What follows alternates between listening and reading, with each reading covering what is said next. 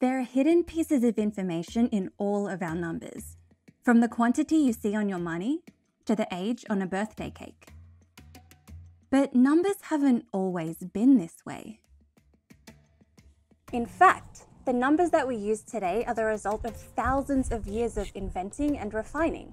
Many ancient civilizations independently came up with forms of basic tallying, where counting was tracked by lines drawn in the earth.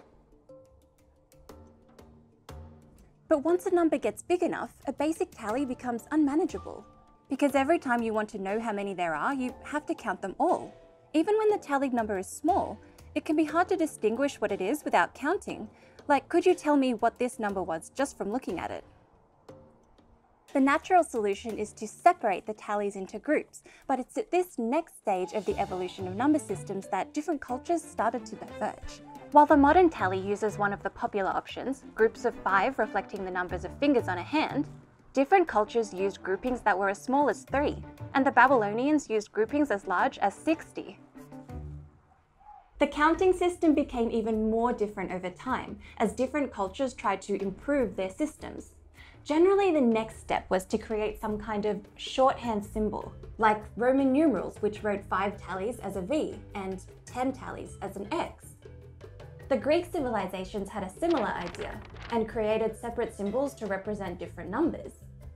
Creating a math alphabet was a major accomplishment, but while these ancient systems required remembering more and more symbols as you wanted to use bigger and bigger numbers, the modern system manages to write every positive whole number with just 10 symbols. So these old systems were really just more sophisticated tally systems because you still had to add together all the symbols to figure out what number was being represented. Take this number for example. Even if you were familiar with the Roman numerals, it would take you a bit of time to add all the symbols together to figure out what number this was. But if I write the same number in our modern notation, you can tell at a glance. So what is the modern number system and where did it come from? This system is called place notation, and the first instance of a fully developed version of it was by the Mayan civilization around 2,000 years ago. While in the tally system there's a convention of writing the ungrouped lines at the end, the number is still the same if you switch around where they're placed. But this is not the case with our modern number system. The assumption that we make when we see the number 42 is learnt at such an early age that it can be easy to forget that it's there at all. As we go from right to left, each digit represents the multiple of a factor of 10. So 42 is really 4 times 10 plus 2 times 1. And 42,199 is really 4 times 10,000 plus 2 times 1,000 plus 1 times 100 plus 9 times 10 plus 9 times 1. Another way to say this is that we have 4 in the 10,000s place, 2 in the thousands place, 1 in the hundreds place, and so on. So not only do we look at a number and assume that it uses place notation, which historically hasn't always been the case, but we specifically assume that each place in the number is associated with a factor of 10. Now, as you'll remember from the earliest days of tallying, there's no base number that our system inherently needs to be centered around, and historically different cultures have used different numbers. In fact, the original Mayan system used 20 as its base number. So if the two major assumptions with our modern numbers are the use of positional notation and the use of base 10, is it possible that there's a better number system out there? Like our ancestors before us, might we one day discover a new and better one? Well, there are actually already non-base 10 systems being used all the time in the modern world. For example, the way we measure time with 60 minutes in an hour and 60 seconds in a minute, or the fact that there are 360 degrees in a circle. These are carryover from the ancient Babylonian base 60 system. On a larger scale, classical computers are completely based on a base 2 system, binary. This means that every number can be written using only two symbols, 0 and 1. Classical computers have a physical reason for using binary because fundamentally computers are just a bunch of on-off switches. If the computer reads out these on-off switches, that translates to the binary number below it. But humans don't have a similar restriction, so what makes a number system good or bad for humans? We've already learnt a few lessons from the historical number systems that are no longer in use. We stopped using tallies because we wanted a system that lets us know what the number is with a quick glance. This requires creating a mathematical alphabet, a set of symbols with a widely agreed upon meaning. But it's also possible to have too many symbols, so we're looking for a balance. We want one that's easy to do operations like multiplication and addition on. So what about binary? It's got a nice simple mathematical alphabet with just two symbols, which means its multiplication and addition tables are really easy to memorize. But the downfall of binary for human use is that the numbers get long very quickly. The biggest four digit number is 1111, which is only 15 in decimal. Even just 500 in decimal is 11111010 in binary. So like the tally system, the binary system is hard to read at a glance. Since the decimal system already works pretty well in terms of our three rules, let's look at a couple of bases close to 10. In a couple of his popular math books, Isaac Asimov discusses the benefits of the octal system, which is based on 8, and the duodecimal system, which is based on 12. While we can use the first 8 symbols of the decimal system to write numbers in base 8, a base 12 system requires two additional symbols, which we'll borrow from the English alphabet. Take a look at the size of the multiplication table and the largest four-digit number for each system.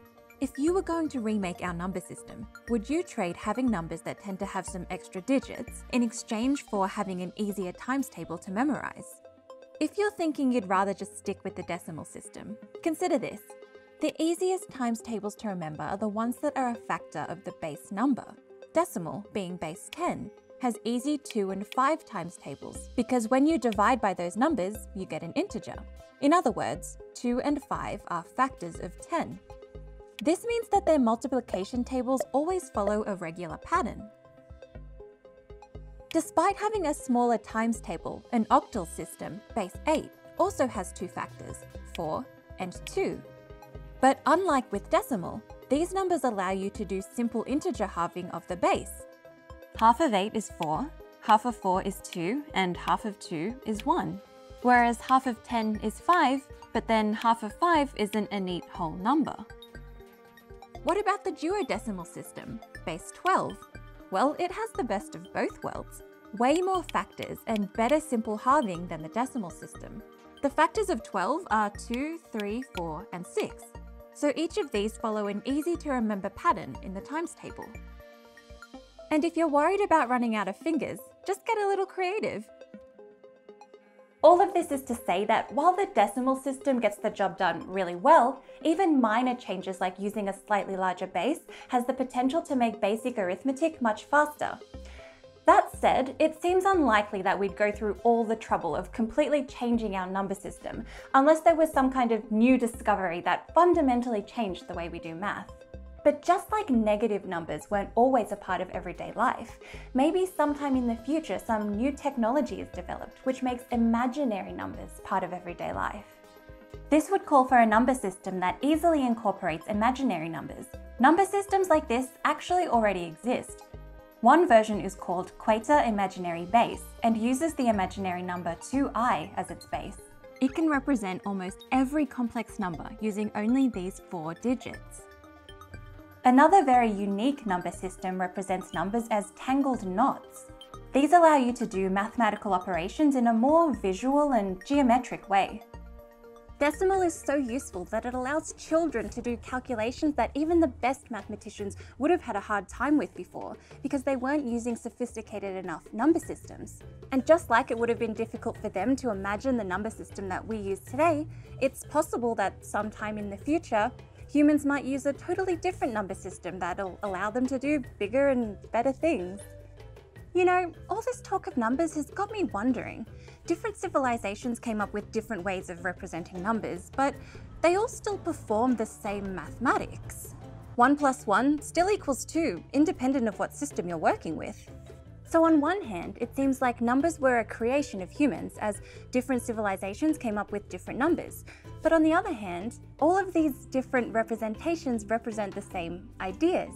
So, is mathematics invented or discovered? This is an age-old question and there are good answers to both sides. That's why I'm making a video about it over on Nebula. Nebula is a streaming video platform built by creators for creators. It features names like Minute Physics, Real Engineering, Wendover Productions, and more. Nebula is a place where we can try out new content ideas without the pressure of the YouTube algorithm. I was apprehensive about going down a more philosophical path on YouTube as it's a bit of a jump from my regular content, but Nebula makes it possible for us creators to follow our passions and try new things. Normally Nebula is $3 a month, but we've partnered with our friends at CuriosityStream to get you free access to Nebula with a CuriosityStream subscription. So CuriosityStream is a different subscription streaming service which specializes in high quality documentaries, including names like David Attenborough and astronaut Chris Hadfield. They're currently running a 40% off promotion. It's their version of a care package for these trying times. Thought provoking documentaries to keep yourself and your loved ones engaged over the coming weeks. So you're literally getting two streaming services for the price of 60% of one. That's a pretty good deal. If you'd like to check out both platforms, I've linked them both in the description. But to get the two for one deal, sign up to CuriosityStream at curiositystream.com slash up and atom. Watching your favorite creators try out new ideas and the soothing voice of David Attenborough might be just what you need right now. Thank you for watching and I'll see you in the next episode.